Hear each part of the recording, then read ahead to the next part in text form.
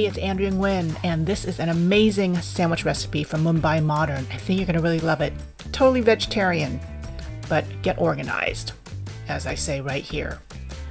White bread is traditionally used in um, Bombay or Mumbai, however you like to call the amazing metropolis. Um, but I had some wheat bread on hand. And remember to make the cilantro mint chutney in advance because it's part of the foundation of this sandwich. So is um, butter.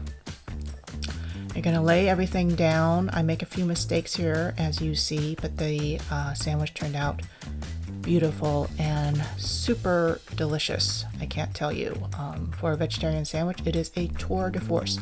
Also, do not forget that spice blend, the sandwich masala.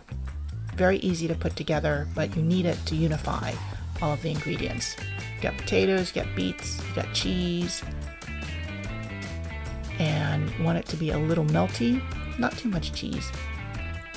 I could have added a little masala there if I wanted to, but once that second layer of bread goes down, you need to butter the other side as well as add some chutney.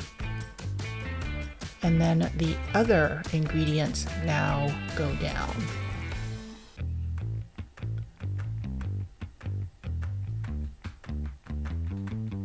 Yep, layer two is pretty easy to figure out. Got raw vegetables, cucumber, onion, as well as tomato.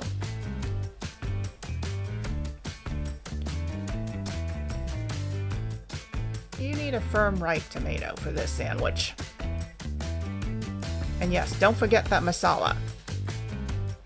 Finish with a little melty cheese and add a more masala if you like that spicy pungency. Hard to get your mouth around that big guy. Time to cook it.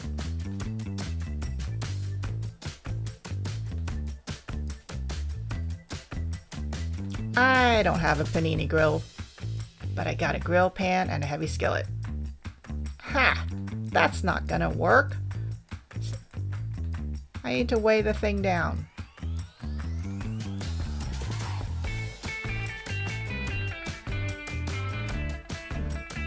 There we go.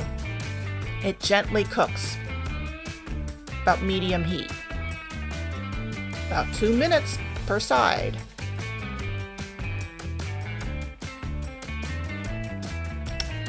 Yes.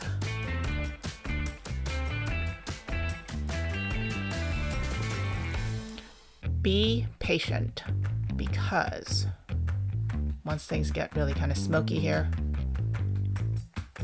you are done. Mm-mm-mm.